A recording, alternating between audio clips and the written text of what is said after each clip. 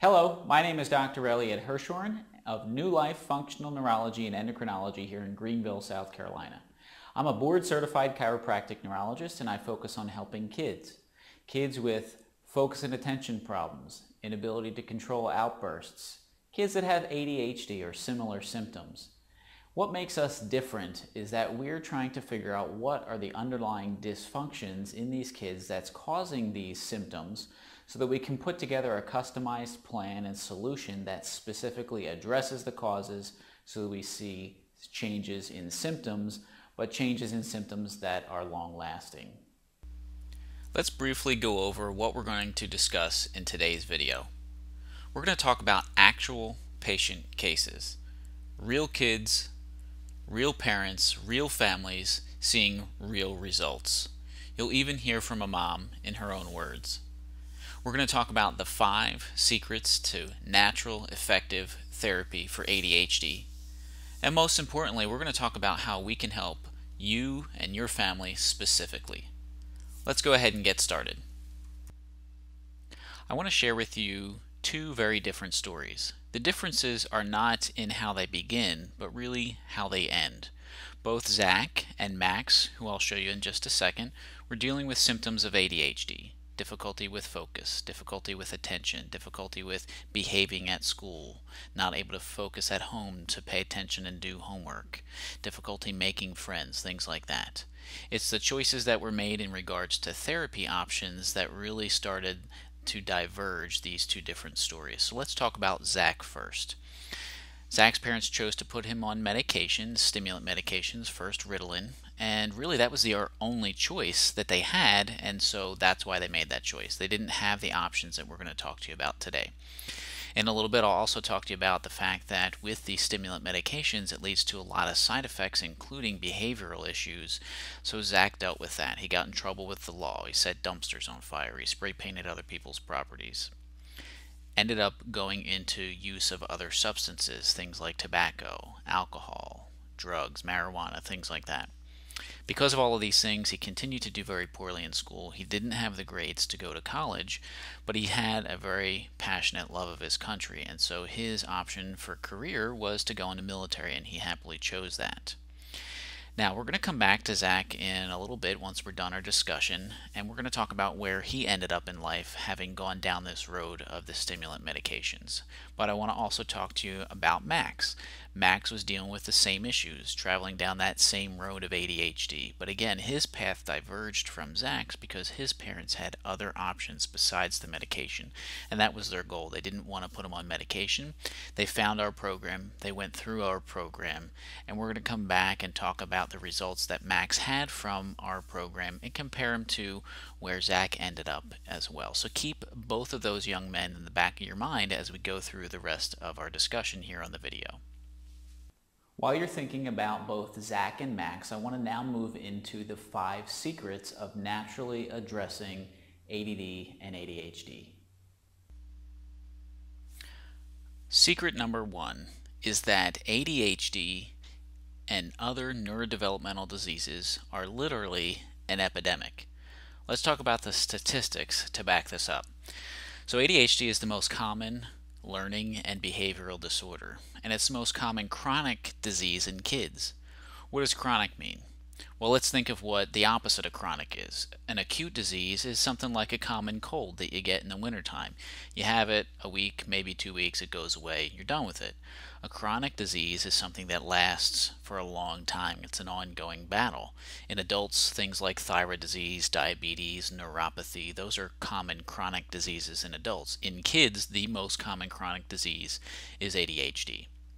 In fact, 11% of all children and 20% of high school boys will get a diagnosis of ADHD, which is an, a 41% increase since 2003. Two thirds of all of those that receive a diagnosis end up taking a stimulant medication, so things like Ritalin, Vyvanse, Adderall, Concerta. Sales of these stimulants have doubled in the period of 2007 to 2012 from 4 billion to over 9 billion dollars. So this is a huge huge moneymaker for the pharmaceutical companies. 10,000 two to four year old children are being treated with psychostimulants. In my opinion, at this age, between two and four years old, there's so many other things that we should be attempting to do to help these kids besides putting them on medications. There are a ton of side effects, including the risk of developing these other common chronic diseases as these kids get older, including diabetes. These kids have a 300% increased risk of diabetes when they're on these psychostimulant medications.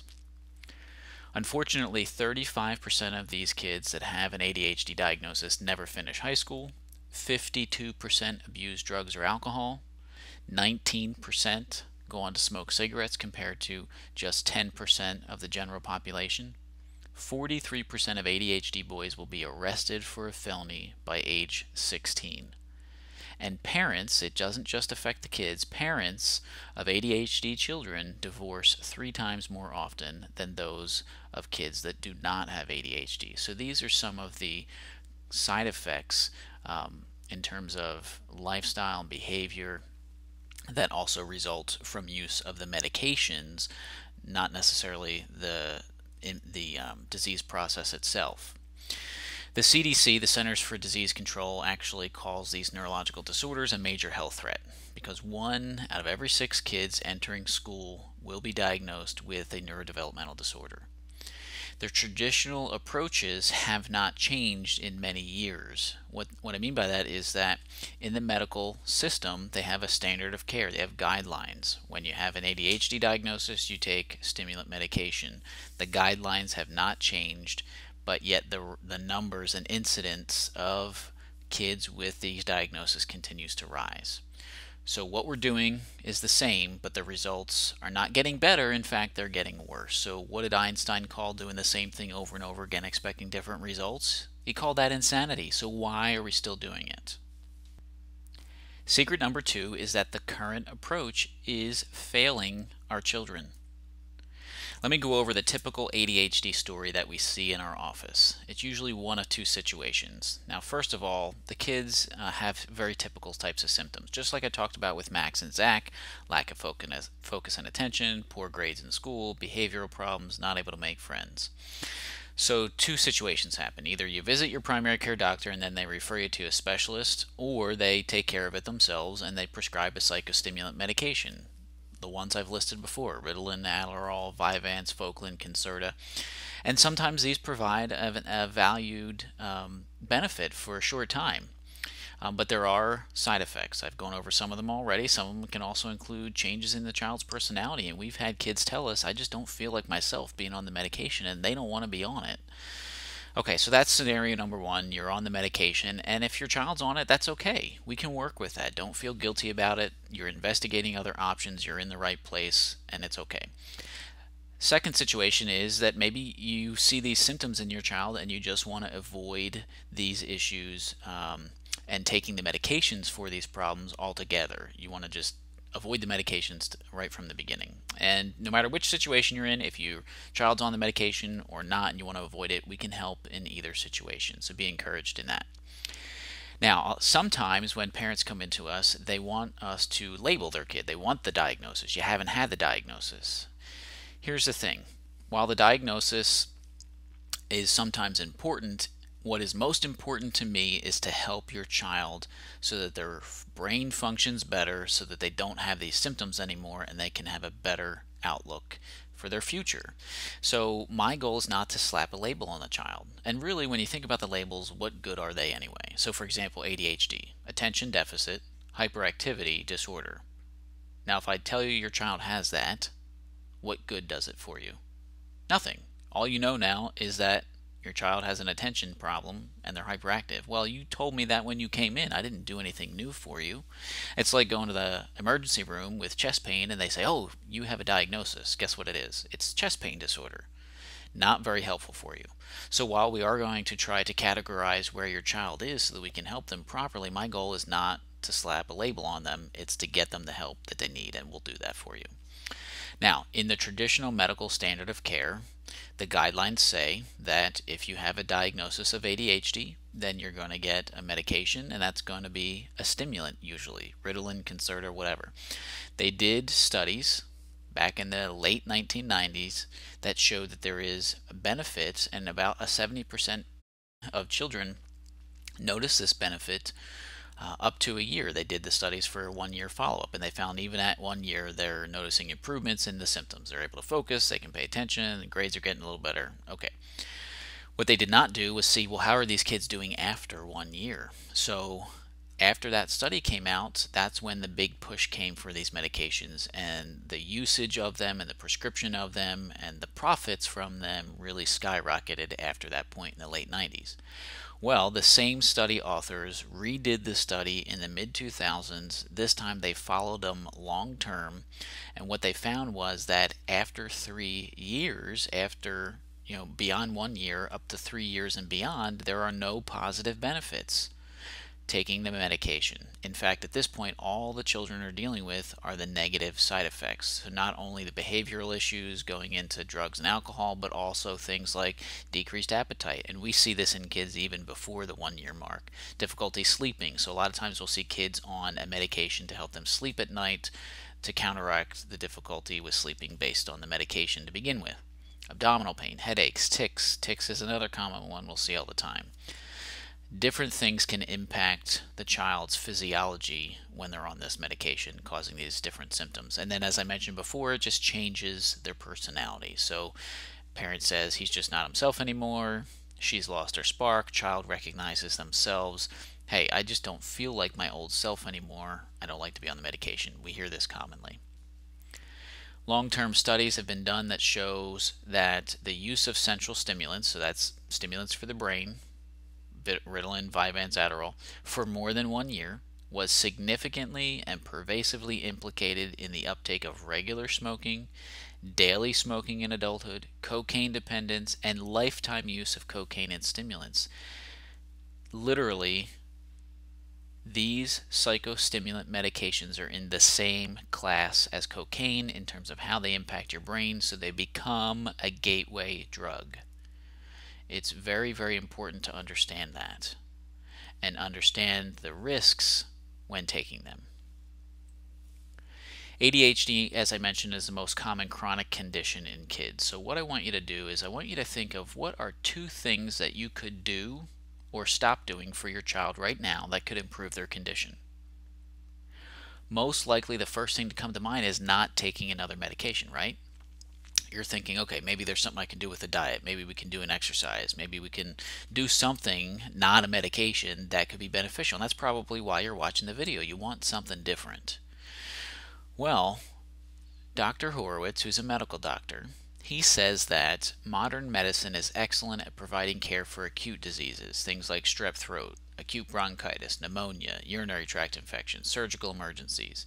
The medical system, however, lacks an understanding of and treatments for a myriad of chronic diseases including ADHD in kids. Yeah, they can provide some symptomatic benefit in the short term, but in the long term, it does not address the underlying cause of the problem, so you don't get long term improvements. And so we have to step outside of this traditional medical standard of care of just using stimulant medications, and we have to do something different. And that is what we're going to be talking about through the remainder of our conversation. So, secrets one and two it's an epidemic. The current approach is failing. The reason why the current approach is failing is because it does not address the actual underlying cause of ADHD, which is actually a dysfunction in the brain. Unfortunately, a lot of times we'll see people commenting that, oh, if you just, you know, discipline your kid better, they'll be fine. And discipline is important, but not if there's an underlying dysfunction. It's not the most important thing. The most important thing is figuring out where that dysfunction is and putting a plan together to address it. Uh, hopefully, you agree with that. All right, let's talk about the brain, in particular, where we find these dis dysfunctions. First of all, let's talk about what normal functions typically occur. And so right over here, you'll see the frontal lobe, and in the frontal lobe is where we have centers for the ability to focus and pay attention, the ability to control impulsive behaviors. This is where we have a lot of our executive function, reasoning, judgment, etc. Behind it here in the parietal lobe is where we have our sensory input. And so a lot of times kids with ADHD will have difficulty with spatial awareness. So they're in line with a friend uh, uh, multiple friends at school and they're not staying in line, they're drifting out of line, they're bumping into kids, they're poking kids in the head, and that becomes a problem with the child's actual ability to make friends because kids just don't want to be around them. Back here in the occipital lobe, we have visual processing. And so sometimes the inability to focus and pay attention is not necessarily due to a problem in the frontal lobe, but it's due to a problem with the visual processing. So they're seeing things around them on the board, in a book, etc., but the processing of that is messed up here in the occipital lobe, and so they just can't process the information they're seeing or reading, and so they just drift off because they just don't understand what's going on because of visual processing issues. In the temporal lobe here is where we have memory, and so conversion of short to long-term memory happens here in the temporal lobe. The back part of the brain underneath is a cerebellum, also involved with spatial awareness, involved with balance and coordination. So if the child's a little clumsy, may see some issues there. And then the brainstem is where we have control of breathing, heart rate, and those types of um, vital issues. Okay, now in that area of the prefrontal cortex that we talked about, we have those key functions of impulse control, reason, judgment, they've done MRI studies, functional MRI studies of kids with ADHD, compared them to kids without ADHD, and they literally found that those areas of the brain are smaller in the kids with ADHD. So this is what's causing them to be um, prone to drift off, to make sudden outbursts, to use poor judgment, because literally those areas of the brain are underdeveloped. They literally cannot function to capacity because they're, the structure is just not there. The tissue in that area is thinner and smaller, and more importantly, there are fewer connections. So it's the connections between one area of the brain and another that allow the complexity of function. Scientists believe that it's these variations that are impacting these kids' symptoms focus, attention, impulse control, etc. So we have to look to these particular parts of the brain, the prefrontal cortex, the occipital lobe, wherever it may be, we want to identify specifically where are the dysfunctions and then we want to make sure that we get those areas functioning better again. How do we do that? Well, any neuron, which is a brain cell or a nerve cell anywhere else in your body, needs two basic things in order to survive and to thrive and function well, not just mediocre. So you need fuel. That comes in the form of oxygen and the food that you eat. And that is maintained by diet and nutrition or lifestyle. And so some of the things that we will do as part of our program with these kids is make lifestyle changes. Diet is key. As the parent, or the grandparent or the guardian, it's going to be on you, the burden's going to be on you to make sure that they are implementing the dietary changes that we recommend. Um, also the nutritional supplements and we do this based on testing so we'll do specific testing to make the recommendations based on that the other thing that the neurons or the brain cells need to be healthy and thrive is activation or stimulation you can think about it as uh, with your muscles. If you don't use your muscles, you sit on the couch all day, they're going to waste away. Use it or lose it, basically. The same thing applies with the brain, and although the kids are using their brains, we can use extra utilization or activation specifically to help to stimulate the particular part of the brain that's not working as well. So let's say the right prefrontal cortex in your child is not functioning well. There are specific neurological activities that we can have the child do that specifically target and activate or stimulate the right prefrontal cortex more than any other area. That will provide the extra activation or exercise literally of that part of the brain to get it to function better while at the same time we're working on diet and nutrition. There's also neurofeedback that we can use, and we'll talk about that and how it can be very, very specific in regards to not only identifying the particular area of the brain that's not working well, but also providing specific therapy and activation to that part of the brain as well. It's pretty fantastic.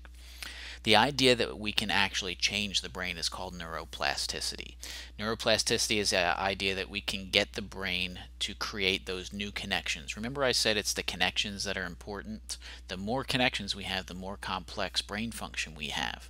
It's not the number of brain cells because actually newborn babies have more brain cells than we do as adults. What happens is over time, some of those brain cells are pruned away, they die off, and then it's the complexity of the connections that develop during neurological development that creates the complexity of function as well. What makes us different from other places that you might get care for your child is what we do specifically to address these particular areas. So we're making sure that we're doing diet and nutrition. And you can do that with a nutritionist. You can go and they can put you on supplements, they can give you a diet, and that's fine. We do that here. You could go get brain based therapy. There are other brain based therapy clinics um, and educational places where you can get that. There are places you can go get neurofeedback. There is no other place in our area that does all three of these. Lifestyle changes with diet and nutrition based on testing. Brain-based therapy specific to a functional neurological exam. Neurofeedback specific to a QEEG. And we'll get into the details of all that. We're the only uh, clinic in the area doing all three of those things. Secret number four, as I've already alluded, is that effective brain therapy must include proper metabolic support. So what does that entail? As we said, lifestyle changes, diet, nutrition, ensuring that the child has a proper nutritional foundation. They have the nutrients, the vitamins, the minerals to produce the energy needed for brain function, but also we want to make sure that we're eliminating things that are going to be detrimental to that as well. So a lot of times the question is asked, is it the genes or is it the environment? And the answer to that question really is yes. We can have a predisposition to a genetic component to all kinds of different chronic diseases, including ADHD. But whether or not those genes are turned on and off is dependent upon exposure to things in the environment. And that's a concept called epigenetics. So, yes, you could have genes that predispose you to a certain ailment, but whether or not those genes are expressed and turned on and off has to do with how you've been influenced through environmental exposure, and that's epigenetics. Let me give you an example. When testing the umbilical cord blood in newborn babies, they have found over 287 different chemicals just in the umbilical cord blood. So these kids, before they're even born, are being exposed to a huge, huge number of chemical insults in the form uh, uh, of different toxins in their umbilical cord blood. 180 of them have been shown to cause cancer, 208 of them cause birth defects or abnormal development, and 217 of these chemicals are known to be toxic to both the brain and the rest of the nervous system, which is what we're dealing with in terms of an underlying cause in these symptoms for these children. Pesticides can also have an impact, and they've done studies and showed that kids that have higher levels of pesticides were two times more likely to have ADHD. So then the question becomes well, how do we eliminate pesticide exposure? Eating organic, is it helpful? Well, the studies show that children who eat organic had one fifth the level of pesticides. You could also say 80% less pesticides when eating organic. And so, really, it reduces the exposure level to negligible. There's a negligible risk for exposure to pesticides and other chemicals when you do eat organic. Other types of pollutants found in the environment when kids are tested and the levels of these pollutants are tested, it's found that they have a three times greater likelihood of having ADHD when they have higher levels of other pollutants as well. What other types of environmental factors are there? Well, if you look at this picture, this is becoming an all too common scenario in our society, and we're all guilty of it. I'm not laying the blame on anyone in particular, but this is very common, whether it's between parent and child or mom and dad. One person's doing one activity on a screen, another person's doing another activity on a screen and there's really no social interaction, there's no physical activity going on.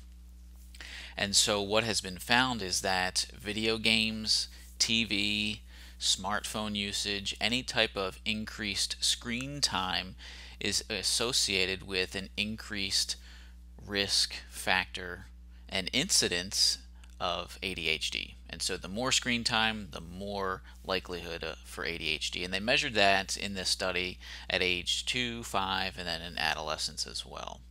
And so studies are showing that it's not only a correlation between increased screen time and ADHD, but a causal relationship. So increased screen time causes ADHD based on the information they found in the study. What about in the foods that we eat? Artificial colors, flavors, preservatives.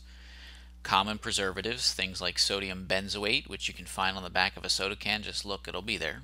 And food colorings, they've been shown to increase hyperactivity in kids even if the kids were not hyperactive to begin with. So they took two groups of kids, ones that were hyperactive, ones that were not hyperactive. They gave them these foods that have preservatives and food colorings in them, and they all became hyperactive, regardless of whether they were to begin with or not. So what we're eating and what is in the food that we are eating is having an impact on attention in hyperactivity in kids. In fact, in Europe, they actually label warnings on these foods for the parents. Let me show you. So I took this picture myself. It's the back label of a soda can. And in case you can't see it, we'll blow it up.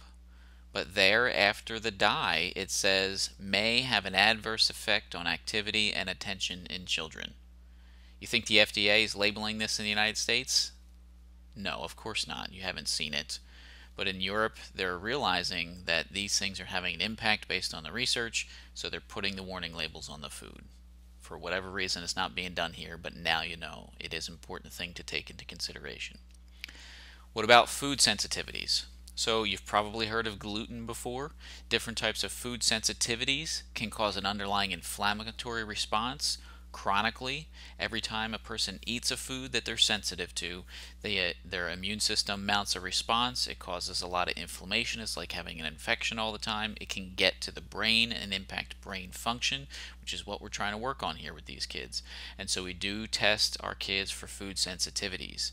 You can have a food sensitivity even if you do not have a gastrointestinal complaint. So you could be gluten sensitive and not have any cramping or bloating or distension or diarrhea or constipation after you eat or at any time. You can have no GI symptoms and still have a sensitivity. So it's very important to test it. There can be other nutritional deficiencies as well, lack of good fats. So um, sometimes we'll substitute or supplement omega-3 fatty acids for our kids. Uh, we'll look and see if there's an iron deficiency, zinc, magnesium, especially if kids have anger issues or anxiety. We may see a need for a magnesium supplement. And so it's important to look for these types of issues. Now, in regards to parenting skills, parents uh, um, and parenting skills also have an environmental influence on the child, and it can have an impact on the outcomes of what we're doing. So we don't specifically help with this, but there are a lot of resources that we can point you to in the right direction if you ask us for help with that. We're not going to step on any toes in that regard, um, but there are resources available if necessary for you. And ultimately, I have to tell you that we can fix the brain of the child and get it to function better and see improvements in symptoms, but we do not fix eight-year-old boy. So when the brain's working better, your child's still going to be an 8-year-old boy or an 11-year-old girl and they're going to do things that are normal for their age group. I hope that makes sense for you. Now, we've been answering the question, is it the genes and the environment? In the beginning I said the answer is yes, and sometimes it is in fact the gene. And there's a gene in particular that we pay a lot of attention to. It's called MTHFR, stands for methylene tetrahydrofolate reductase. You don't need to know the full name of that. But if you remember MTHFR, you may hear that again in the future. Let's talk a little bit about what it does. So MTHFR is responsible for a multi-step chemical breakdown process called methylation. Methylation is extremely important for about 250 to 300 other biochemical processes. So this step of methylation happens pervasively throughout your physiology. It's important for turning on and off genes. It's responsible for making brain chemicals, brain signaling chemicals like dopamine and serotonin, which impact mood. It's responsible for, for breaking down hormones so that we don't have a toxic buildup of hormones. It's responsible for activating your immune system, the natural killer cells and the T regulatory cells, which help to regulate your immune system. It's responsible for creation of myelin, which is the outer covering on your nerve cells which helps to conduct the signals properly.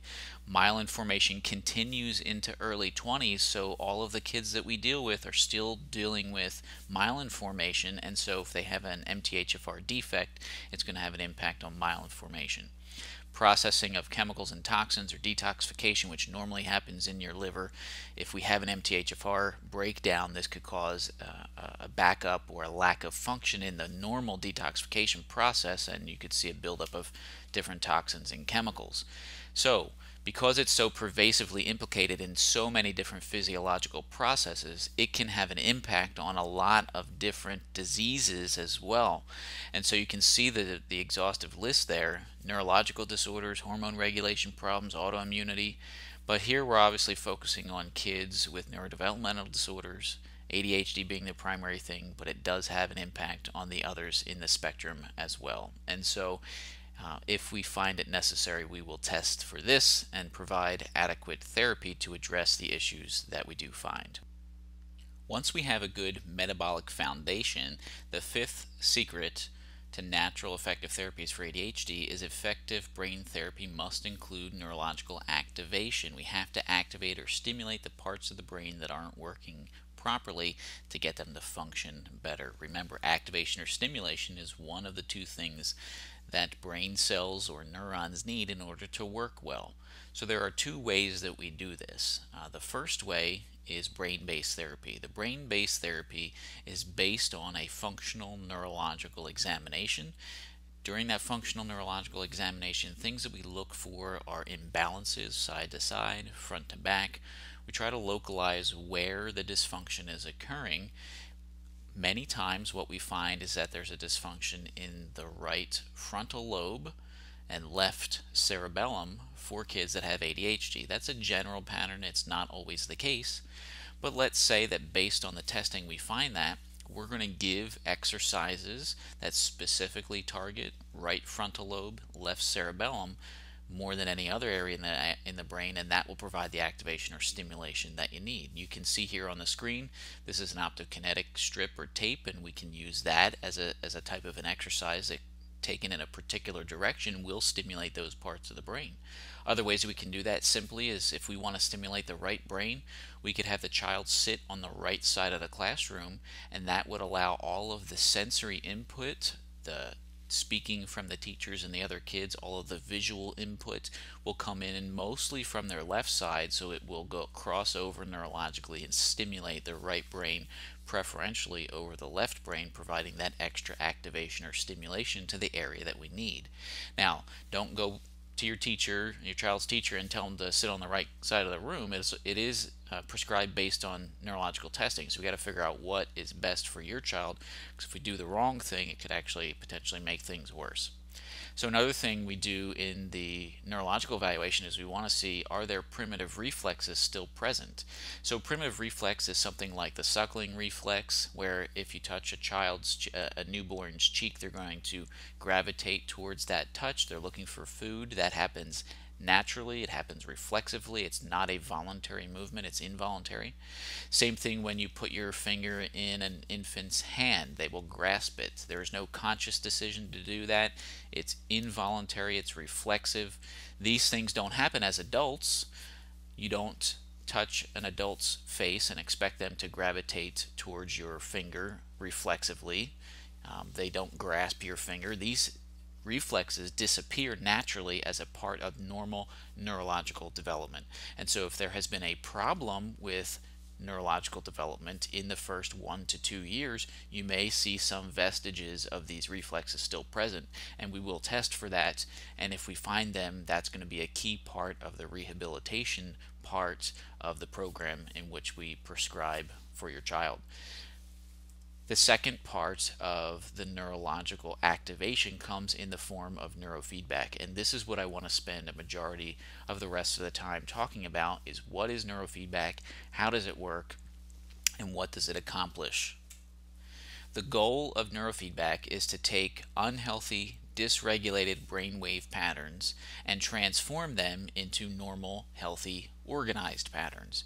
When we do this, the brain is more stable, it's better able to operate, it functions better. Literally, these areas of the brain that we target and train grow new connections, that concept of neuroplasticity that we've talked about, so they function better. And because they are structural connections and structural changes we've made, the brain changes last long term, as do the resultant changes in symptoms as well. As I just mentioned, they demonstrated based on functional MRI that neurofeedback after the therapy shows improvements in structure and then therefore function in the areas related to attention, the prefrontal cortex in particular, for kids that have ADHD. So, how does it work? First, all of our neurofeedback is based on guidance from quantitative electroencephalogram or QEEG. It's really kind of a window into brain function. And if you think of an EKG, you've heard of that. That's measurement of electrical activity of the heart. You see the little squiggly lines going across the screen if you're watching a, a TV show like ER or something like that. Well, EEG is the same thing except we're measuring electrical activity of the brain. Brain function normally produces an electrical current and we can measure that with an EEG. So we put sensors on the head, we take the raw data. You can see a picture here on the right of a child being measured.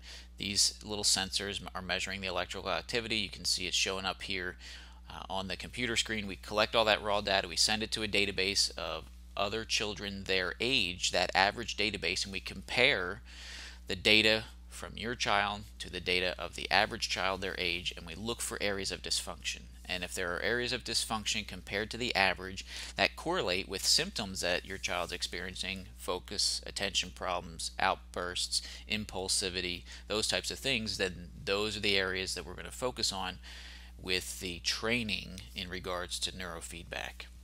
The types of brain waves that we are measuring are four basic kinds. There's delta, theta, alpha, and beta. So let's walk through what each of these is. Delta brain waves are produced during sleep. It's associated with release of growth hormones. So we see a lot of growth happening, in particular in kids, and repair and healing happening as well.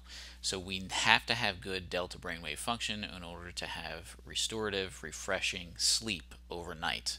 And so if we see issues in delta brainwave function, it could be reflective of problems with sleeping and healing and restoration at nighttime. Theta brainwaves are produced when you're just about to fall asleep. They're associated with creativity and memory retrieval, and so this is why we often get our best ideas just as we're about to fall asleep. We get creative, we remember things just as we're about to sleep because that's what these brain waves are associated with. When these particular brain waves become dysregulated, however, and we see elevated level, levels of theta during the waking states, it can be associated with distractibility, inattention, daydreaming, those types of things. We will commonly see elevated delta and elevated theta in kids that have ADHD. Alpha brain waves are uh, associated with a sense of inner calm or peacefulness and meditation. These are often produced when the brain is idle. Um, when we see a dysfunction of alpha waves, it can be associated with emotional concerns, anxiety, depression, lack of motivation. We'll see difficulty in alpha brain waves. Also, when we have some learning disorders, in particular in the left frontal areas. And then beta brain waves are the most complex in terms of their function. They are produced when we are awake, when we are alert, when we are focused and problem solving and logical and attentive. So hopefully as you're watching this video, you're producing lots of beta brain waves, learning and paying attention. These are produced in the outermost layer of your brain. It's called the cortex. It's about the, excuse me, it's about the outer one eighth of an inch of your brain. It's the part that you see when you look at a brain.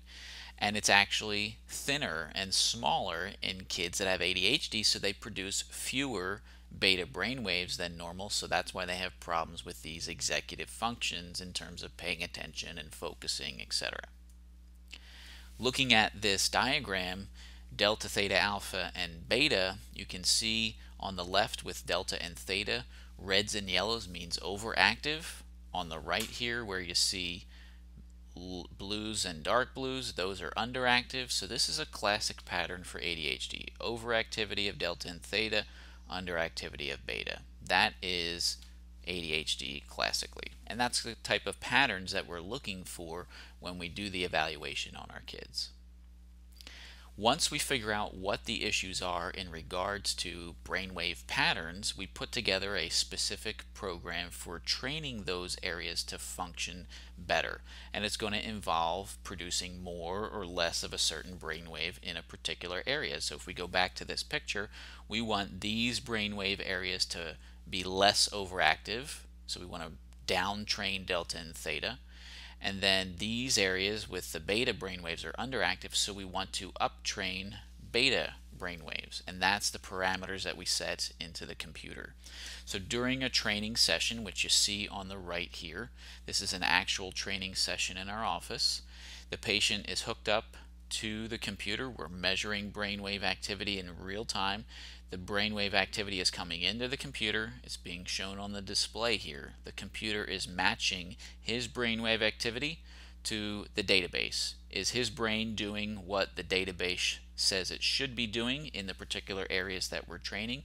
Is he producing average delta and theta, good delta, uh, good uh, beta brainwaves? If he is, he gets a reward feeded back through the TV screen. The reward is the activity that he's doing, watching a video in this case, continues to play. So this will play, the screen will be bright, the audio will come up, he'll hear some audio feedback in his ears as well.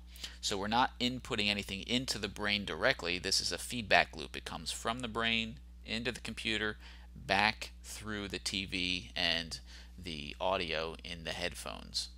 So the patient's brain is literally controlling the playing of the video based on whether or not the brain is doing what it's supposed to do. When it does what it's supposed to do, the patient gets a reward.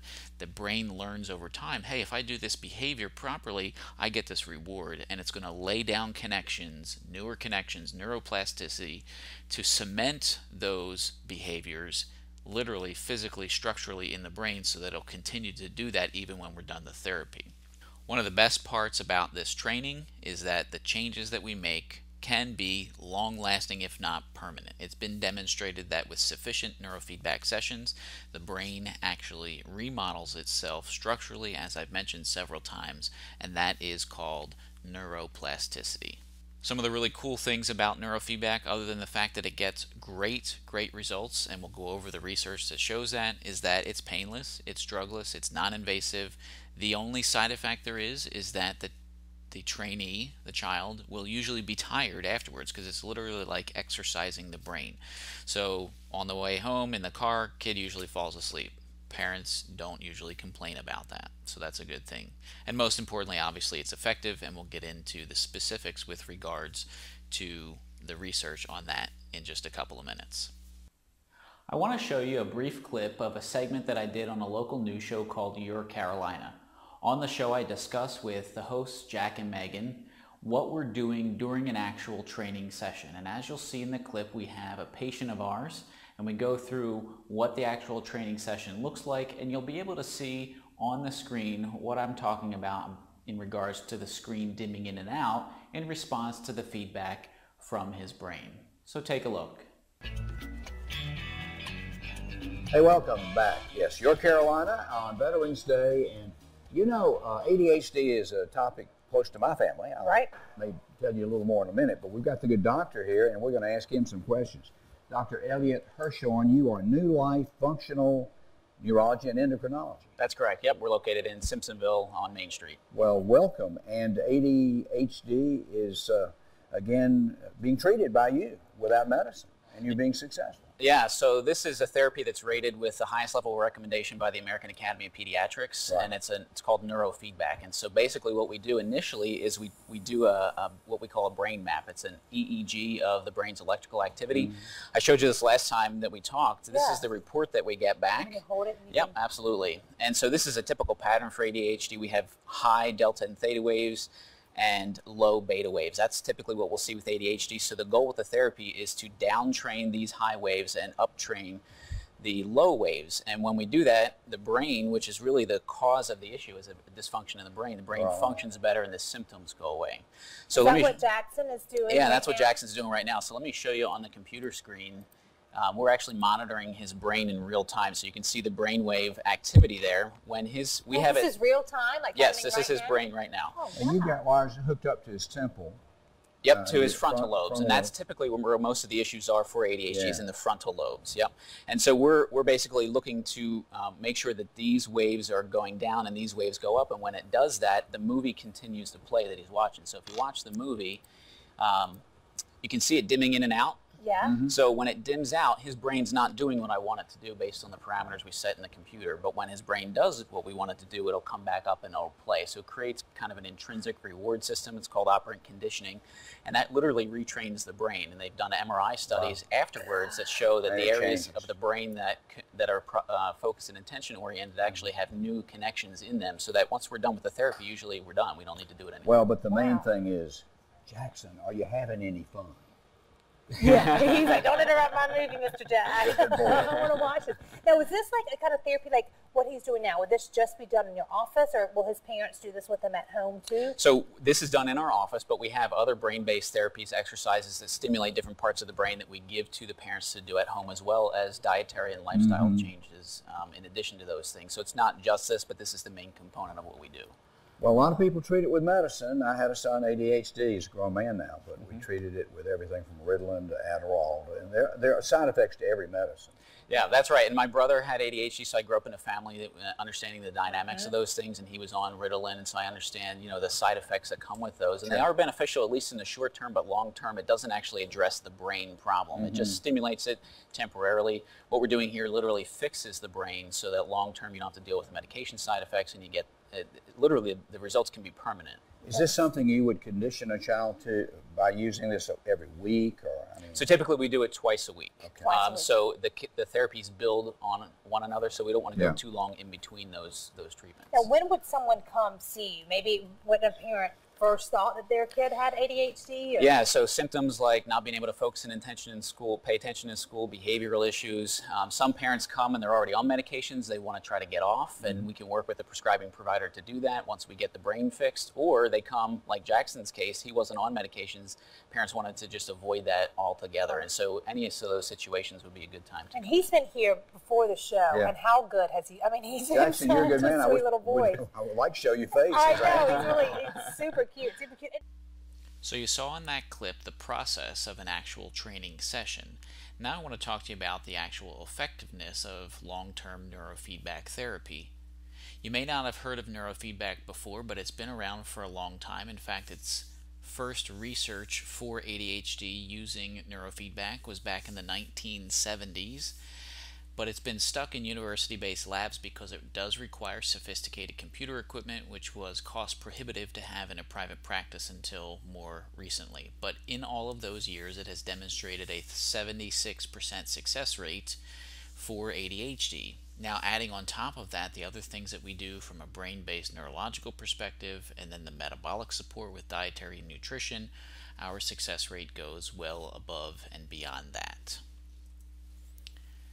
A couple of comments about the effectiveness of neurofeedback in the research. A principal investigator in 2006 used functional MRI imaging before and after neurofeedback, and he said that there is mounting evidence that neurofeedback can significantly improve cognitive functioning in ADHD children.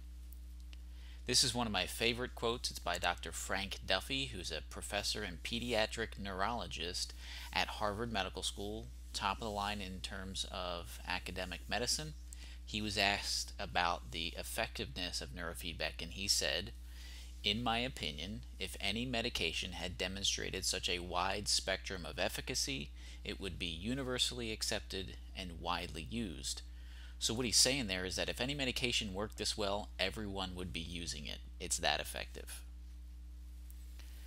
The journal Opinions in Pediatrics calls it the most effective solution for ADHD, and the American Academy of Pediatrics gives it their highest level of support, rating it as a level 1 best support therapy for ADHD. We can talk about effectiveness of neurofeedback in the research, But really what matters is, is it effective in changing people's lives? And so I want to show you a testimonial about an actual family and how we were able to change their lives based on what we do in our office. Hillary had issues with insomnia, uh, mood swings, oppositional defiant behavior, as well as decreased attention. We had done diet changes, we had done supplements in the past, but we would see improvement and then we would end up seeing regression at some point, um, even when we adhered to everything strictly. Um, so we never really knew necessarily what caused these changes or the regression. So I just felt like something was missing and that we needed to look for something in addition to what we were already doing. I found out that New Life did offer neurofeedback and I had read how that would help a lot of kids with the symptoms that my daughter had. So, um, and I love the fact that New Life is integrative. So we were going to get to continue with the diet um, and focus on that. We were going to get to continue with supplements and find the right supplements that would work for my daughter. So that's all I needed to know and I was sold on coming to New Life to try to find help for her. Amazing, amazing changes. So um, again, we were desperate when we got to New Life because things had been going well and then we noticed regression and for that particular time the regression was pretty bad. So I just, I didn't know what to do or, or where to go at that point. So um, once we started with New Life, the quality of her sleep improved dramatically. So not only is she sleeping and staying asleep, but it's restful sleep. So I know the quality of her sleep is so much better. When she wakes up, she's not tired. She's able to function at school and at home. Um, her moods are stable now. So that's always nice. It's always a good thing for the child and the, and the family. Um, her, the oppositional defiant disorder, I can honestly say is 100% gone at this point. So very, very happy and excited about that. Um, you know, she's just stable. Her moods are stable. She's happy. Um, she's having fun. Before we came to New Life, uh, she was very sad, um, did not have a lot of energy. She was always tired, um, really just, even though she played, you could just tell, I mean, it was a different child. She just wasn't really enjoying herself her quality of life was not anywhere near as good as it is now. So lots of wonderful changes and improvements. New Life has been amazing. I love the fact that everyone here wants to listen and really understand. And so it's not just like a cookie cutter type treatment. Everything is specifically designed to the individual. Um, and so I love being able to talk to a provider and for them to understand and for us to work together as a team and come up with a good plan that works. So just that alone has been wonderful, of course, along with the amazing improvements that she made, so I couldn't ask for more. I just think that Dr. Hirschhorn is wonderful. I think the staff is wonderful. Everyone is very caring, um, very helpful, and again, New Life has given us a new life, and I'm just glad that I have my daughter back and that she's happy now. Don't hesitate. Make the decision and do it because your life will change. Your child's life will change. Um, because uh, when a child suffers, the whole family suffers. So don't wait, just go ahead and do it. Um, so your child can, can be happy, your family can be happy, and you'll definitely see wonderful results.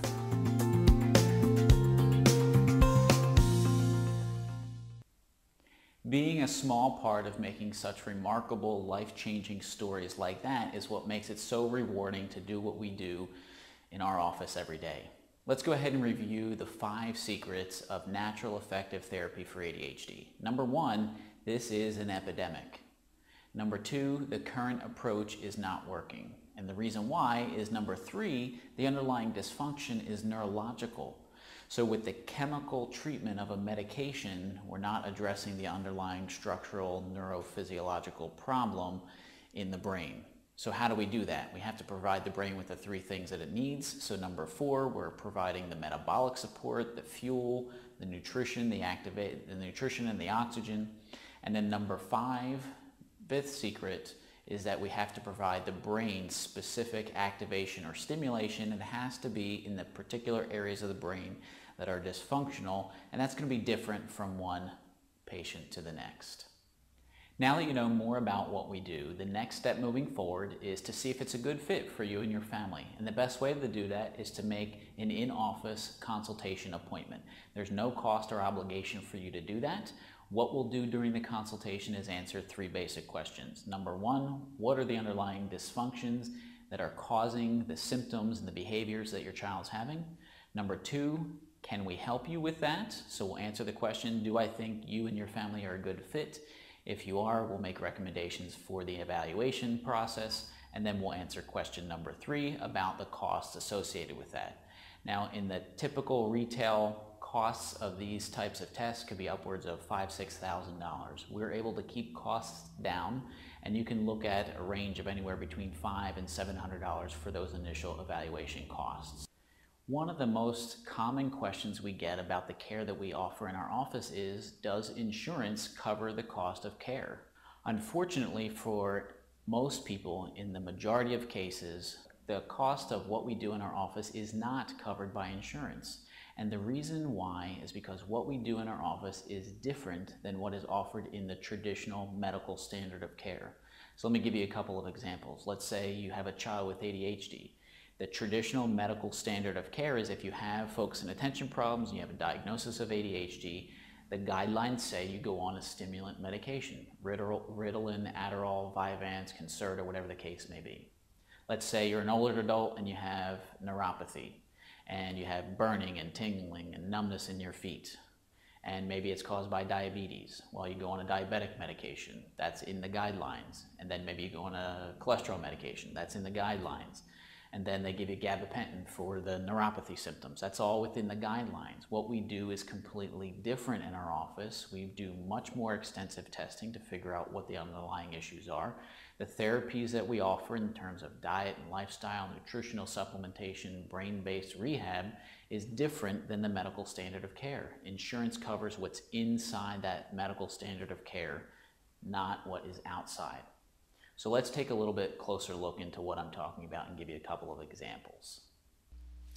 The way the current insurance system is set up is it's designed to pay for things to keep you alive. So if you're in a car accident, if you have a heart attack, if you have a stroke, if you have a life-threatening illness, it's going to pay for the care necessary to sustain your life.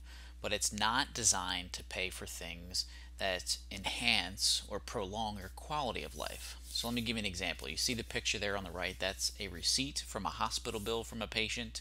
They spent six days in the hospital, and if you can't see it, it cost over $153,000 for just six days in the hospital.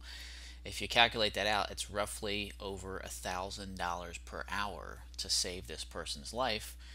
Once they got out of the hospital, then they're pretty much on their own in terms of quality of life. So insurance isn't designed to improve your quality of life, it's designed to save your life. Think about it in terms of car insurance. So car insurance is designed to replace your car if you get into an accident. Car insurance does not pay for routine maintenance like an oil change or a tire rotation or a brake service. You're responsible for the routine upkeep and maintenance of your car and really you need to make the same type of an investment for your quality of life and your health as well. This is a quote from the Medicare guidelines. It says that a treatment plan that seeks to prevent disease, promote health, and prolong and enhance the quality of life, or therapy that's performed to maintain or prevent deterioration of a chronic condition is not a Medicare benefit. So quality of life issues, preventative health services, they're not Medicare benefits. Private insurers like Blue Cross Blue Shield, Cigna, Aetna, they follow Medicare guidelines as well. So it's not designed right in their own language for quality of life issues. No patient in our office has ever said at the end of their care plan after achieving their goals that they regretted making the investment in their health. In fact, a couple people have commented on it, including Mr. Henson, who said it costs some money, but boy, is it well worth it. And Susan Whitmire said, because without your health, really what do you have? And that's a really profound statement. Your health really is an investment. It's not an expense, but it can become an expense if you don't take time to invest in it now. And that's really true. If you don't invest in yourself now in terms of your health and well-being, you're going to see a higher cost later in life, not only in terms of money, but in terms of in uh, time and energy taking care of yourself later when you could spend less doing it now. In fact, they say in the research that for every dollar of preventative care, you can save $15 of chronic care later on. Before we wrap up the video, I want to come back to the two young men that we talked about in the very beginning. Remember Max and Zach? Well, Max went through our program. He did so successfully. He's seeing huge improvements, huge strides in his ability to focus and pay attention and complete homework and make friends. His life is literally in a new, completely new direction. Remember we said Zach and Max, they're going down this parallel path. Well, Max and his parents, they chose this particular option, what we do in our office. He's on a new course in life and his future is extremely bright. Zach, again, parallel pathway, same type of symptoms. With Zach, parents chose to use medication, not because they had two options, but that was all that was presented to them. And so Zach ended up dealing with a lot of the typical issues that we see, um, all the statistics that I went over um, with uh, drugs and alcohol and uh, different types of crimes, whether it be, you know, vandalizing property or, or things like that. Well, uh, Zach went on uh, to serve in the military. As I mentioned, he had a love for country. And so he went in to serve in the military. He did a tour in Iraq, through that, he had several broken relationships. He suffered TBI and PTSD during his time in the war. And unfortunately, shortly after he came back, he did complete suicide on August 29th of 2014. Now, I am not directly connecting his ADHD to his suicide by any means. What I'm saying is that Zach was going down this path, same as Max. Max, his family went in this direction. Zach's family went in this direction because that was the only option they had at the time. This led to a series of events in Zach's life, going into the military, etc. Hard road, and it ended in suicide. Reason why I share Zach's story is because Zach was my little brother. And I do not want one more family to have to go through what me and my family have gone through, dealing with from the way back in the beginning the, the dynamics in the family associated with having a child with ADHD and then going down that hard road that ultimately led to where he is. And so I would encourage you once again, consider giving our office a call to schedule a consultation to see if we can help you and your family. The number is 864-757-8500. I look forward to talking with you soon, and I look forward even more to helping you and your family to have a new life.